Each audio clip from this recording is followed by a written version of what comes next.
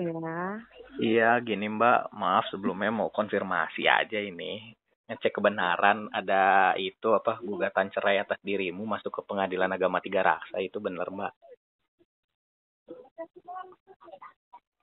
Eh, kamu tahu infonya dari mana? Iya tadi aku lagi iseng ngecekin Pengadilan Agama, terus pas banget ada namamu gitu sama suami. Makanya tapi kan pakai Y tuh Asia Syara kan bukan. Biasanya kan yang kita tahu kan pakai H kan? Tapi nama suami Hmm. sih oh bener ini. Pas aku cek makanya aku nelpon dirimu mbak mau konfirmasi gitu. Soalnya kan dari kemarin-kemarin juga kan selalu apa ada kabar soal kamu dengan suka buka lepas hijab itu kan kayaknya masih ada sangkut pautnya juga nih gitu tapi Ma- maksudnya sangkut paut gimana mas? waktu wawancara di Trans TV Iya. mm-mm, kan waktu itu kan sempat nanya bahasnya lagi kenapa nih kok lepas hijab lepas lepas pasang lepas pasang mulu iya memang lagi ada masalah tapi kan kamu nggak ngasih tahu masalahnya apa kan gitu Hmm. Jadi kamu ngecek ke Tiga Raksa. Mm-mm, aku ngecek tadi Oh. gimana mungkin bisa sedikit Bung, kenapa sih mbak? Sejak kapan gitu ada pertengkaran dan segala macam gitu? Soalnya kan yang dari kemarin-kemarin kan emang kayaknya galau mulu kan di media sosial kan baca nih. Tapi kan nggak pernah ngomong kenapanya gitu. Didoain aja mas yang terbaik. oh, udah berapa lama nih mbak ada masalah rumah tangga mungkin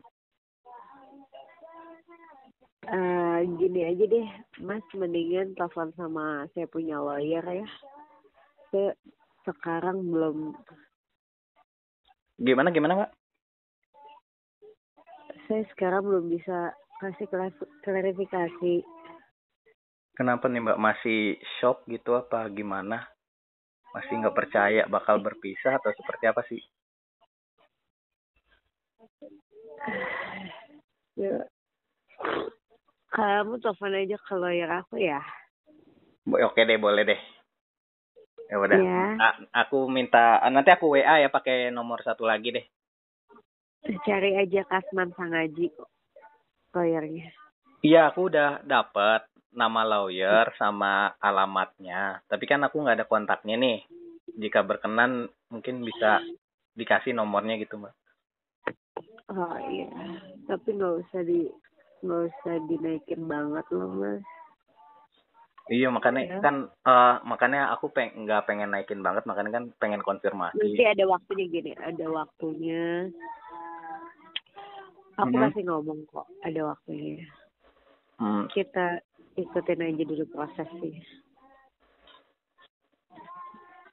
Ya, boleh lah eh, pengen tahu aja gitu kan eh apa yang mungkin bisa disampaikan dan yang enggak gitu nggak apa-apa sih apa emang ini kesepakatan bersama gitu atau seperti apa sih mbak Aca gitu nah kalau lebih dalamnya aku nggak bisa ngomong sekarang, tapi nanti nanti pasti aku aku pasti ngomong sih. Maksudnya aku pasti ngomong ke media di saat udah tenang.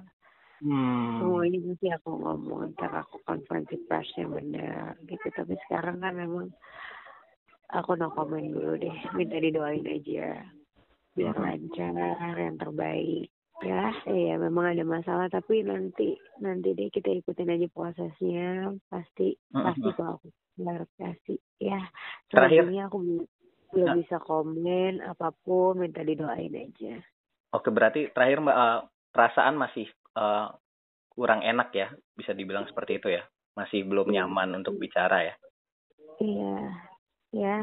Mohon Oke. pengertiannya ya.